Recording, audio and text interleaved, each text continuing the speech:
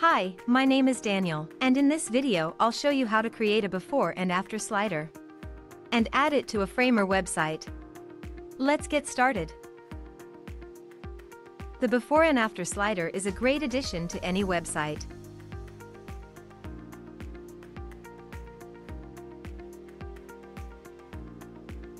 To start, enter Common Ninja website.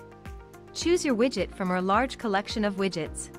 And once you've entered the widget page, click on the Create button to enter the editor. Here, in the editor, you can edit the content. Customize the look and feel. And change the settings. When you're done, click the Save Changes button to save your work. If you don't have an account on Common Ninja yet, you'll have to register first.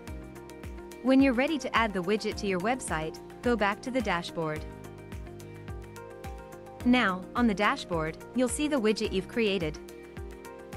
Click on the Add to Website button. In the window that opens, copy the code.